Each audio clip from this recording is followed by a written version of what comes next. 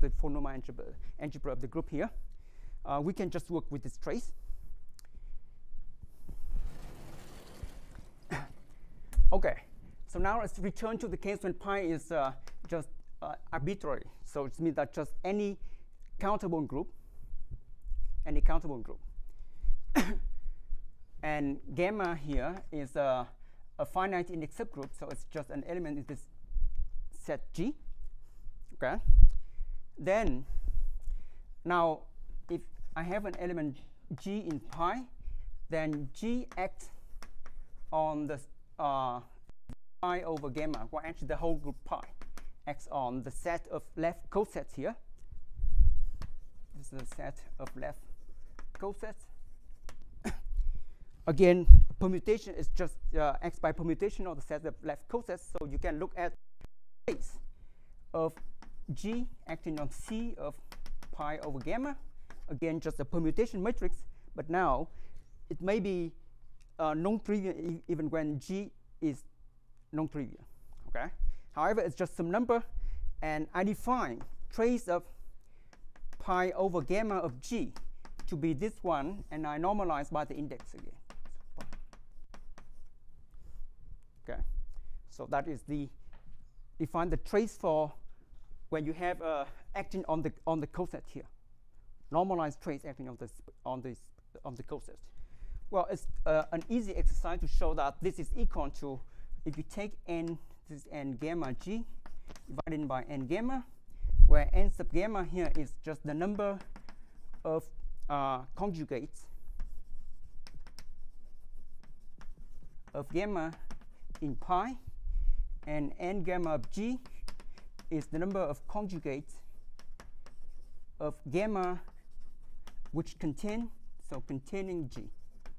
Okay, so that is the trace of an element on the cosets. Okay, so in particular, if if gamma is a normal subgroup, then this is just the usual trace of the finite group of G, of, of this quotient group of G here. Okay.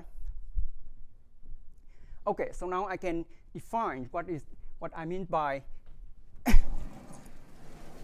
by this limit here.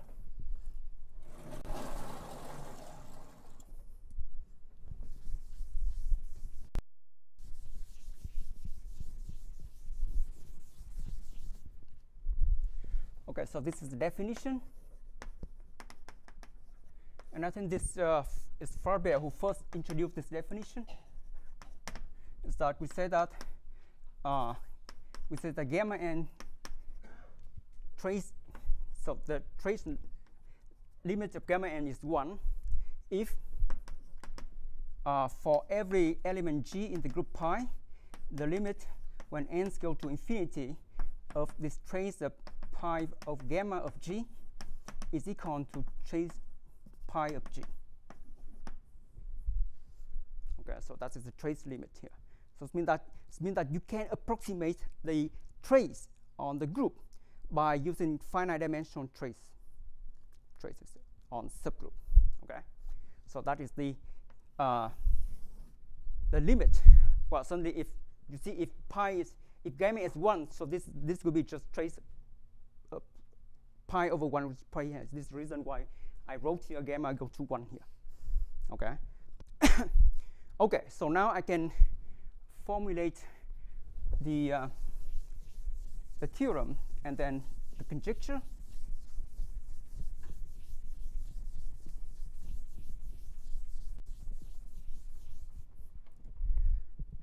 So the theorem that I had is the following.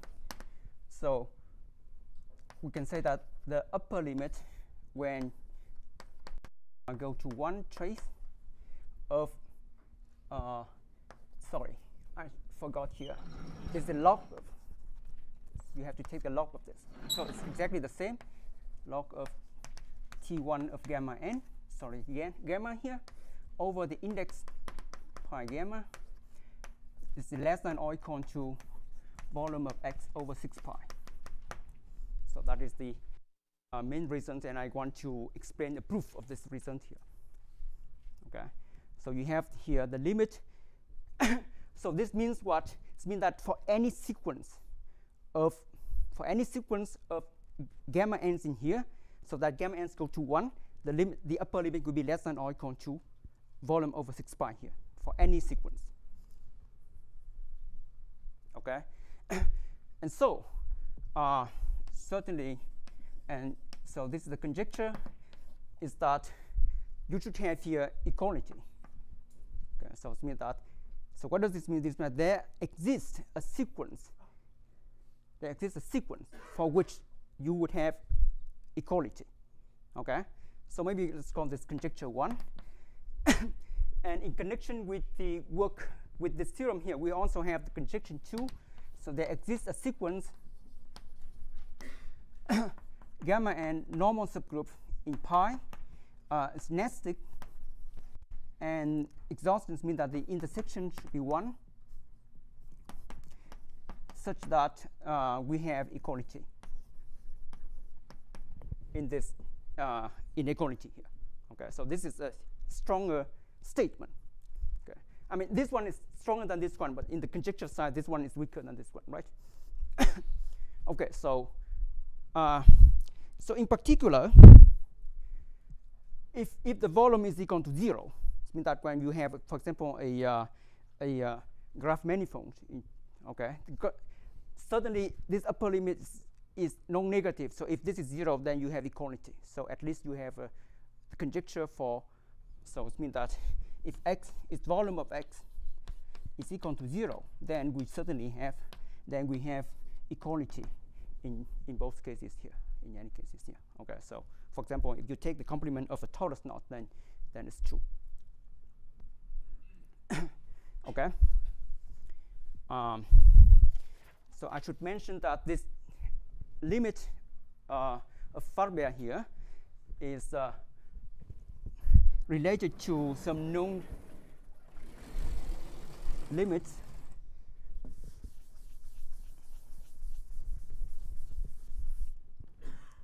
So this is first one if each gamma n is normal in uh, pi uh, so gamma n here is also finite index and it's nested the gamma n plus 1 is a subgroup of gamma n okay then in this case uh, gamma n's go to 1 if and only if it's uh, exhausting. It means that if and of the intersection of gamma n is the trivial element. Okay, so it means that uh, for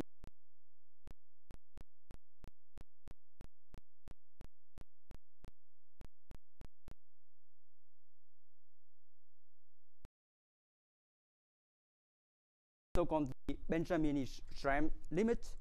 So uh, assume that x here is a, a closed hyperbolic three manifold. Okay, and then gamma n here is just sequence of finite index subgroup. Then gamma n go to one if and only if the corresponding covering uh, so this is BS converge, the sequence uh, converges to H3. So this uh, notion here, uh, Benjamini uh, Schramm convergence here uh, was introduced by a group of uh, seven people, right? So let me that um, A, B, so seven people. but the next letter is not C, okay? Actually, the next is, uh, is here is young Biringer here. Biringer here. Okay, there are a group of seven people. Abert, uh, Bergeron. Well, I don't remember all of them. So. uh, okay, so uh, uh, well, actually, Farber introduced this notion without any geometry a long time um, in '96, and this was uh, a few years ago, right? Four or five years ago. I mean, this notion here. Uh, and there's also, if you look, and, and if you look at the so-called Sofic uh, approximation, then actually this is just exactly the Sofic approximation in this spectrum case. Okay, so Sofic group. okay, so uh, that is the the, uh, the the limit gamma go to one in the tracial sense. So why do we need this uh, trace here? And and what's the relation between the this trace, the uh, the torsion and the volume?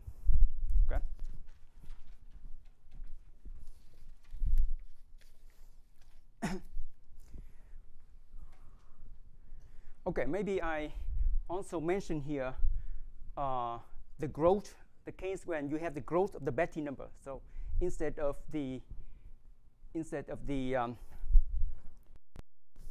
of the torsion. Well, certainly when you look at homology group of the finite curve, you have the torsion part and also the uh, the Betti, the free part, which is measured by just the Betti number.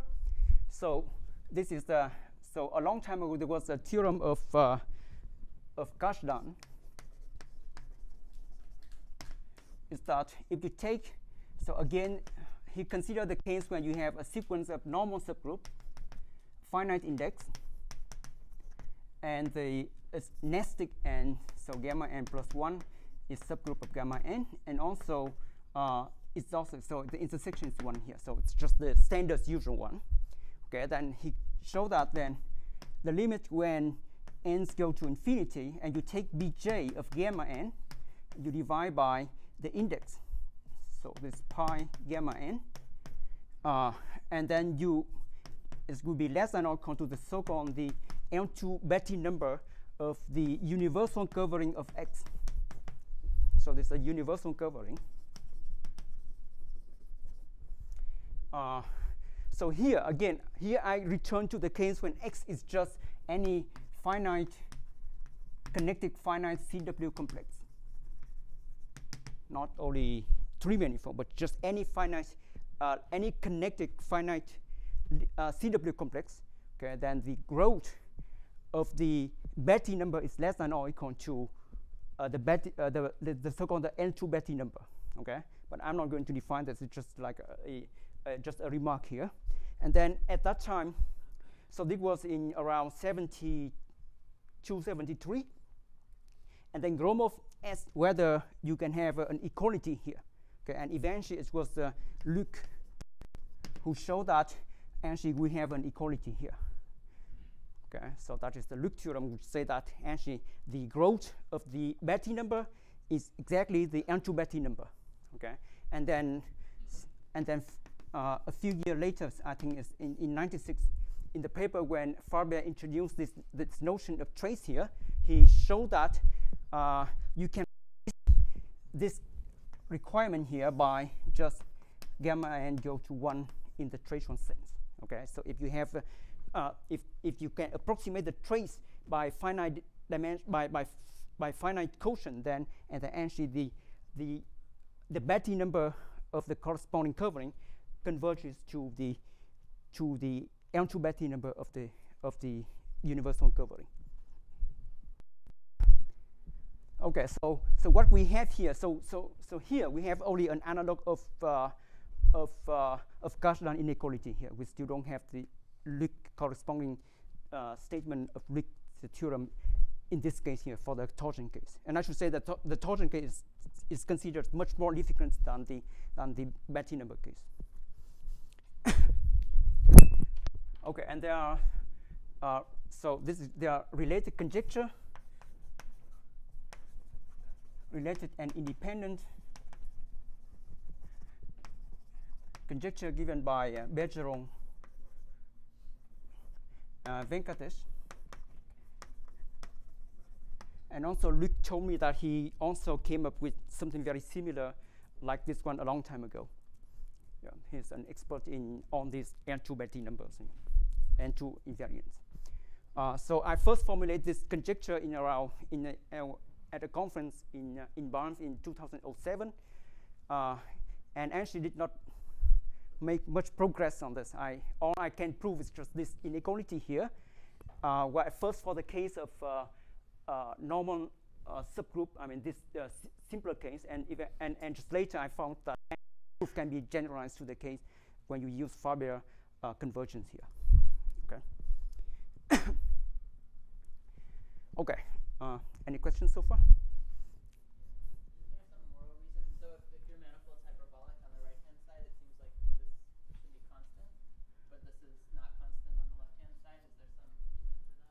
Uh, what what is constant here?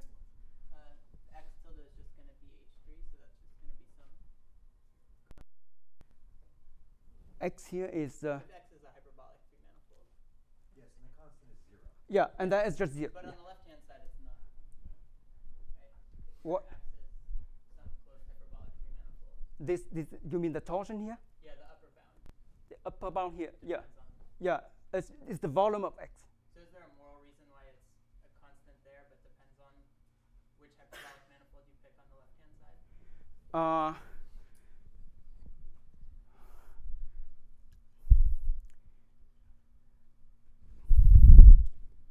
well, somehow it happens that the Betti number, uh, the L2 Betti number of all three manifolds are just zero. I think uh, another way to say it is that uh, if you want to make it more uniform, instead of dividing by the index, you could divide by the volume of the manifold. And Yeah. that would move that volume of to the other side, and then the thing on the right would be one on six pi, which would again be Yeah. number. Yeah. Yeah, you move this volume here. It's just the volume of the covering here. Okay, so now let me uh, explain why we have here, I mean, uh, distance here. Uh, so for this, I need to, so let me write here a, uh, a formula for the volume in terms of some, the so-called Fuglede-Kadison determinant. So let us consider a simple case. So suppose x, for example, just complement of a knot, although we don't have to uh, just consider this case, okay? And assume that you have a well, some good presentation, for example, just the Wirtinger presentation. So a1 up to an plus 1, and then r1 up to rn here. Okay, so just good enough presentation. And then, so x will be homotopic, it will be uh, homotopic to a 2 complex, which has just uh, one zero cell. Uh, and in this case, n plus 1, 1 cells, and then n 2 cells. Okay. and uh, the CW complex of the universal covering will be homotopic to just take this one here. You get here z of pi to the n. Uh, this is z of pi n plus 1, z of pi to 1 here. So this is uh, d2, this is d1, where d2 here will be the n by n plus 1 matrix. So this d2 here is just dri over daj, where this is the Fox derivative. Uh, so this could be matrix of the size n times n plus 1 with entries in z pi and uh, d1 here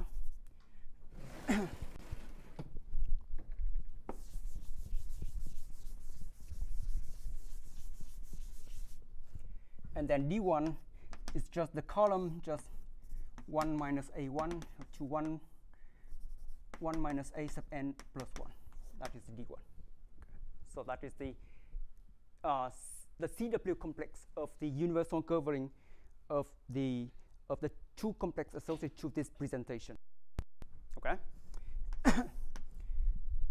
So let me call this J here. It's just the n by n submatrix of D2. So J is just uh, so this is just dri over daj, where ij will be from 1 to n. Just you remove the last column of the D2, you get this J here. Okay. so there's a this is- so there's this theorem here of uh, this is the Bluch and Schick,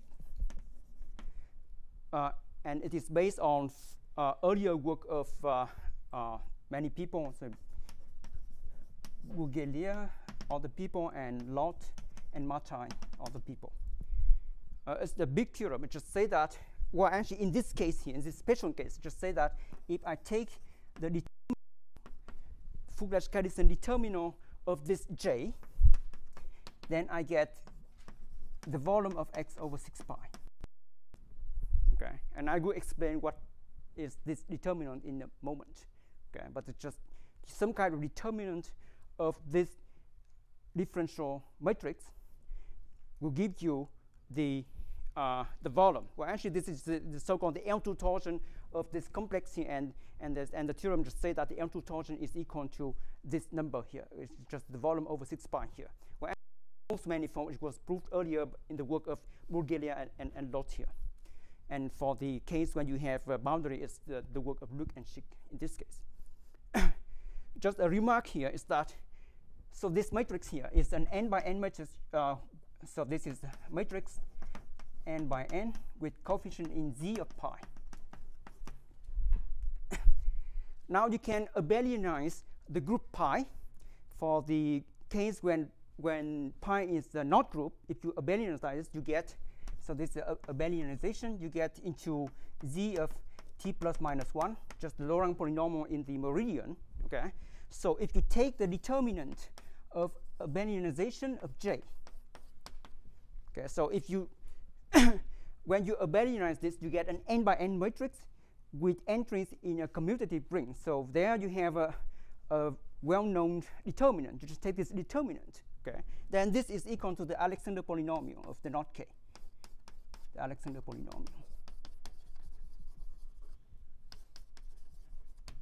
Okay, so you see this same j if you, if you don't abelianize this and you take the determinant, but this is some kind of real determinant, you will get the volume there. Okay, if you ab this, you get the Alexander polynomial.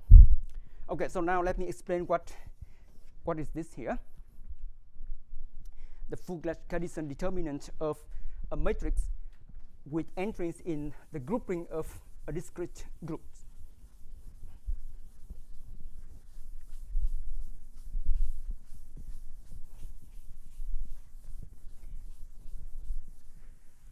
But first, let me explain the case when when pi is just the trivial group.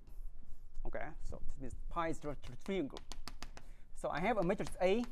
It's just matrix of size n by n uh, with entries in Z. Okay, in this case, just the fundamental group just Z. Okay.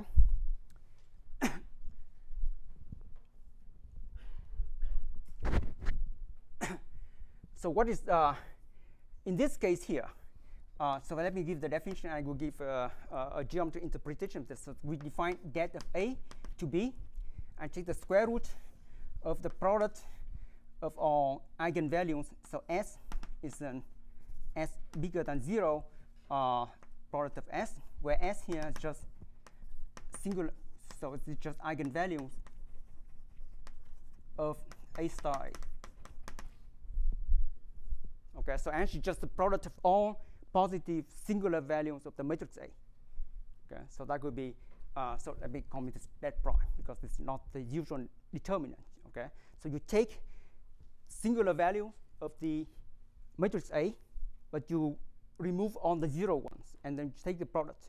So in, in particular, this is always bigger than zero, okay? because even if when the set is empty, we declare it to be one. So it's always bigger than zero.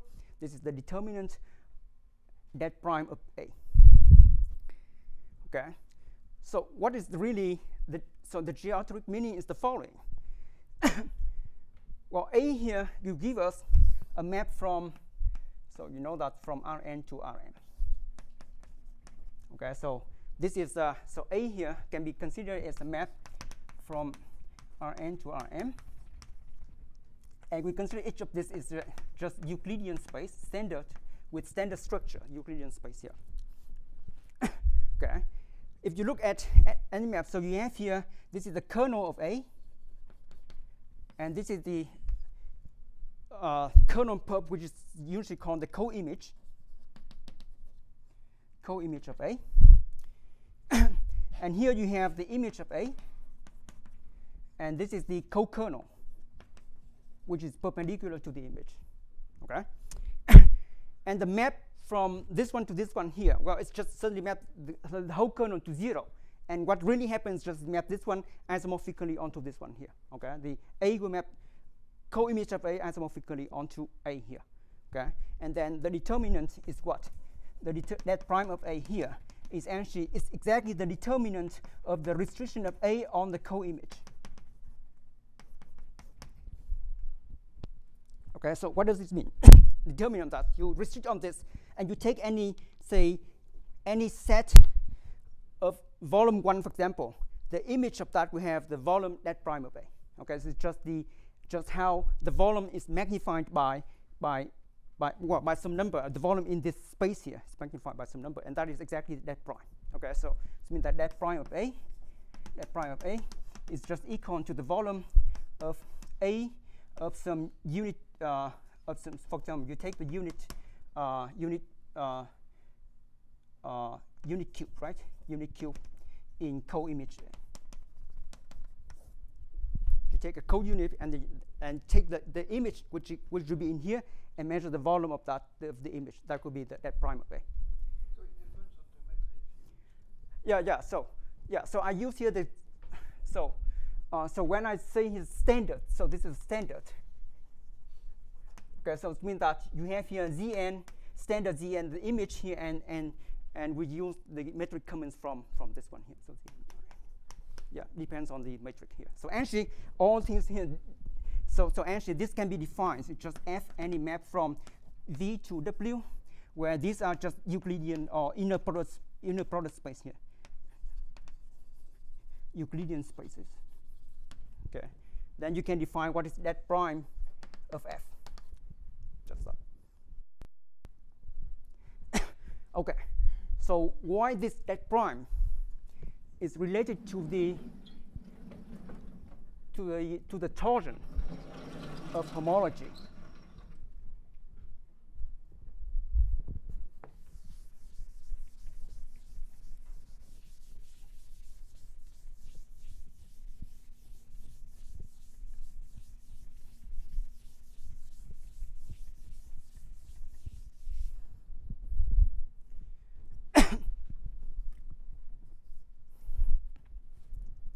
so if you have a uh, lattice in uh, the first place is in Rn. Just so this means there's just uh, some zk here in Rn, just a subgroup in Rn. then we define uh, the volume of this lattice to be just uh, determinant of the uh, so this is the v1 vk, where v1 vk here is just the basis uh, of lambda. So just you take a spanning uh, a uh, the, the volume the, the, the, volume of the parallelepiped spanned by by uh, basis element of this one here, and you declare that well. You need to take the uh, absolute value of this. So okay, so that is the determinant of of a uh, of a lattice in there.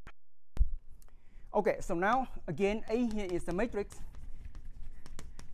m by n with coefficient in Z then we have the following fact here. So the, uh, the determinant prime of A is equal to the volume of the kernel of A times the volume of the image of A.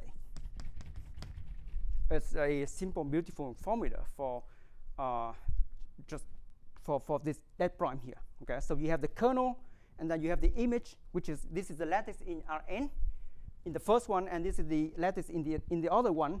Okay, and uh, and and you take the, and then you can measure the volume here, and the product will be this one here. Now the kernel of A. The kernel of A is just a is always a primitive lattice. It's always primitive. So primitive means that so lambda is primitive means that should be equal to the plane should be equal to a subspace cut out. Uh, so it means that lambda should be equal to lambda times zq intersection with zn. So zn here is the standard lattice in Rn, and primitive means that lambda here is obtained by you cut out the the the the, am, the ambient lattice by just a subspace. Okay. Uh, from the definition, it's clear that kernel of A is primitive. However, image may not be primitive. Okay. So let image bar of A is the is the you do bar here means that you take the image of A tensor uh, ZQ and you intersect this with Z to the N. So this is the you have here a lattice here. Uh, this is the and this is the fundamental domain of, of the of the lattice and then in here you have still several uh, inter integer points in the lattice here, and then, uh, but but the bar here means that you have to count all these points also. Okay. And so it's clear that the index, so you have here, uh, so th this volume of this image of A is equal to, so this is the image of A, is equal to the volume of image A bar, and then you multiply by the index of the two lattice, okay? And actually the index of the two lattice is exactly the, the number of element in the torsion Z of the co-kernel of A.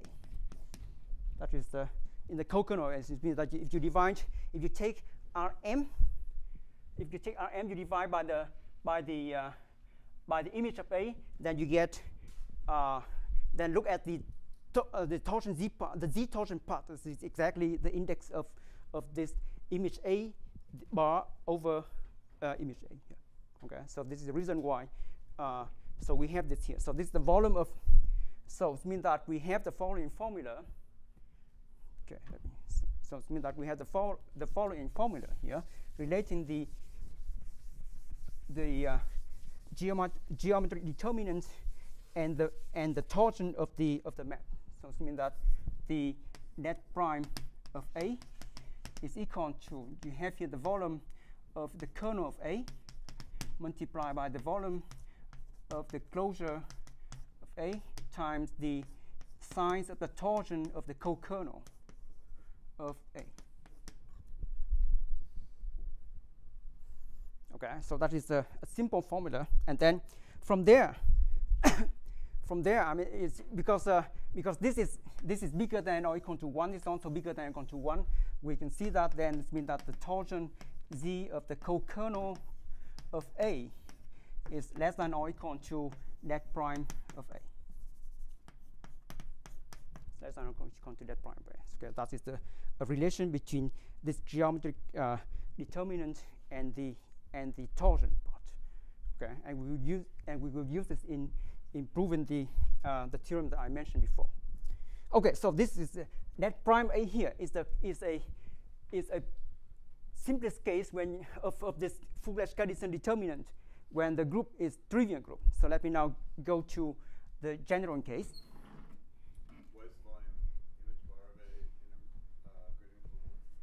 Well, uh, in this case here, it's just, if you look at this one here, uh, all the entries are just integers, so it must be an integer here, and it's non-zero. All, uh, I mean, the span of this here, this lattice here, it's, it's just. Yeah, yeah. Okay.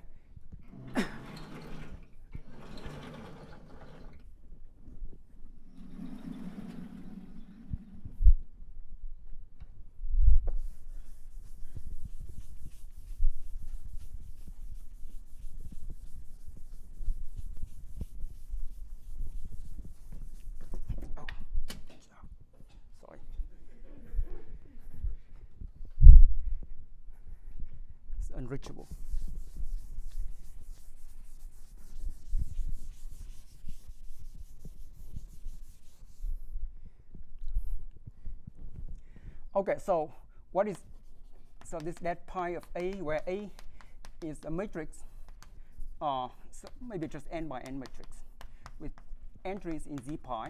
So this is called Fuglede-Kadison determinant. I think it's around 1951. well, so again, I mean, if, if A is just a matrix, an n by n matrix with coefficient in Z in C, then we have the following: log of det A is equal to trace of log A. If you can properly interpret the log function here, then log of determinant uh, log of the determinant is the trace of the determinant. Okay, and so if you can have, if we have a good trace,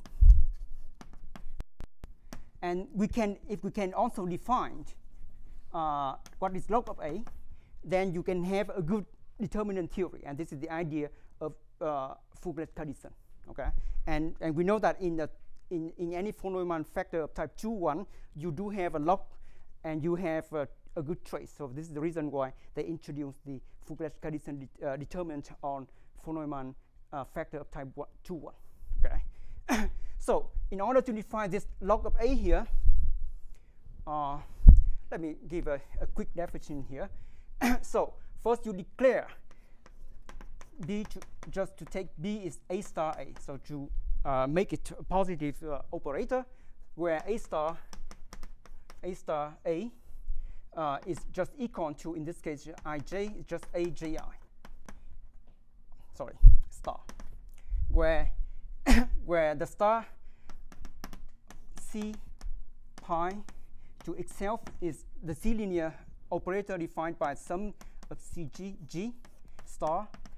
So should be just the sum of cg bar and g inverse. Okay. With the left regular representation, you can see that this is exactly the adjoint operator. And so first of all, b should be equal to this a star a here. Okay. Now this is a, an, a positive operator and bounding operator on the so-called the L2. Uh, uh, so this is a, a, a positive operator on. Uh, so the action if so this will be an n by n now matrix uh, with uh, with entries in z pi. So acting on L2 pi to the n, where L2 pi here is the so this L2 pi is the uh, the set of sum CGG, so that so just the uh, uh, the Hilbert space with base pi. Okay, and this is also Hilbert space, and then you multiply either on the left or on the right, you get a, a operator, and this would be and this A star is really just the, the usual adjoint operator of A, and this is positive here. okay, and then the spectrum of this spectrum of A star A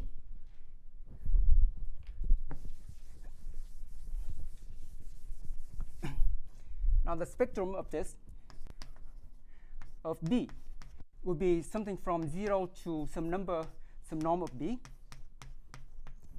Okay? And so if I look at epsilon plus B, spectrum of this could be in epsilon to this B plus epsilon. So you have here, this is 0, and this is from epsilon to some number here.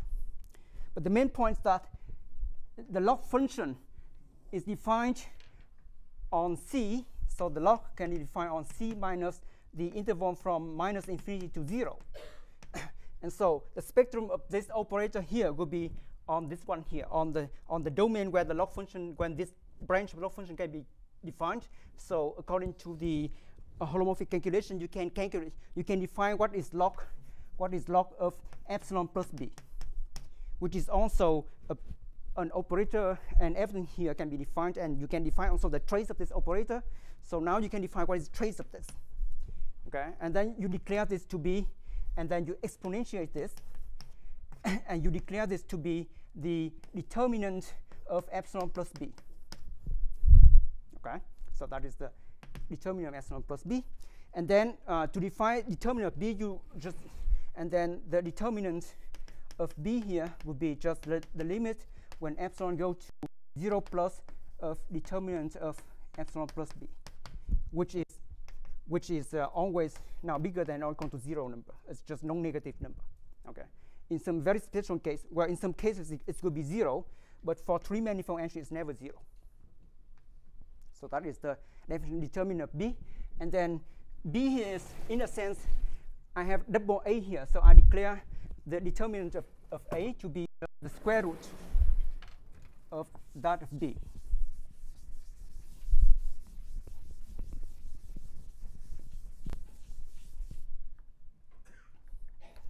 Okay, so now determinant of pi of A is just the square root determinant of B. Okay, so that would be a non-negative number. So, and uh, an example. So example, the first example is if pi is finite, and A is any matrix of size n by n, uh, with coefficient z pi. Okay. Determinant, in this case, A can be presented by a matrix script A, which is an n pi times n pi matrix. Ordinary matrix. But now because every point, ev every element will be presented by a, uh, a permutation matrix of size pi by pi. So you get a matrix of size n pi by n pi. So now it's just a matrix with with the with entries in entry in Z. And so the determinant pi of A in this case would be you take the usual determinant that prime of the script A and you raise to 1 over pi here. That is the, the determinant in the case when the group is a finite group. Okay. Maybe the second example is that if pi is the abelian group z to the n, okay, so the the uh, uh, and and now I have a, a, polynomial just in z of zn, and if I choose the basis of this, it could be just z, just a Laurent polynomial in n variable. You have a Laurent polynomial in n variable, and f is an element of this will be considered as a one by one matrix. So f here is just one by one matrix. And you can also take the determinant, Fuglede-Kadison determinant of this f here. And it turns out to be something that well known. So now in this case, determinant of z, n of f. And I will assume that f is not zero here. It's equal to the so-called the Mahler measure of f. Uh, so this is equal to integral over Tn uh, of log absolute value of sigma. Well, actually, exponent.